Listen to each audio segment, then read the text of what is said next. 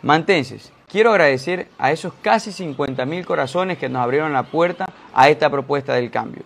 También hay que saber reconocer los resultados con dignidad y con altura y desearle la mejor de las suertes en los próximos años a este nuevo Consejo Municipal.